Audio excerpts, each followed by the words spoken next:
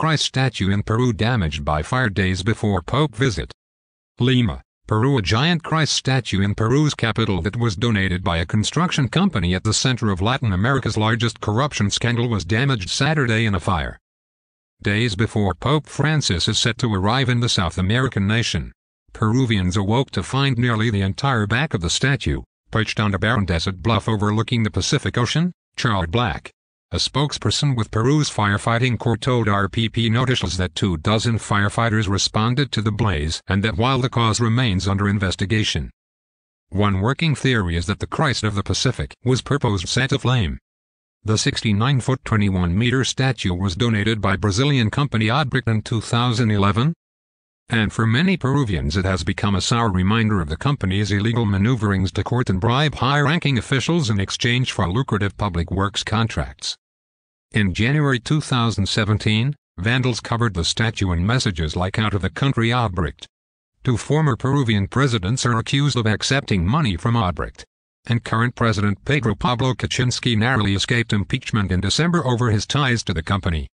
Opposition lawmakers uncovered documents showing Kuczynski's private consulting firm received 782,000 from Odebrecht more than a decade ago when he was serving as a government minister. Kuczynski has denied knowing anything about the payments, saying he recused himself from all consulting business while in the position. The Christ statue's burning comes five days before Francis is scheduled to arrive in Peru. The Pope has hoped to highlight the need to protect the Amazon rainforest during his visit, but Peruvians will be paying close attention to whether he addresses corruption. It's an issue close to his heart, and he has called graft more insidious than sin and a plague that hurts the poorest the most. The statue cost about 1 million, Odebrecht said in 2011. Alan Garcia, whose second stint as Peru's president ran from 2006 to 2011 and who's under preliminary investigation into whether he took Odebrecht bribes, has said he contributed about 30 000 out of his own pocket for its construction. I want it to be a figure that blesses Peru, Garcia said at the time. Francis will arrive first in Chile on Monday. Authorities there are on guard after several Roman Catholic churches in the capital, Santiago, were firebombed with pamphlets left at one scene threatening the pontiff.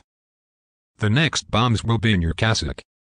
The pamphlets also extolled the cause of the Mapuche indigenous people, who are pushing for return of ancestral lands and other rights.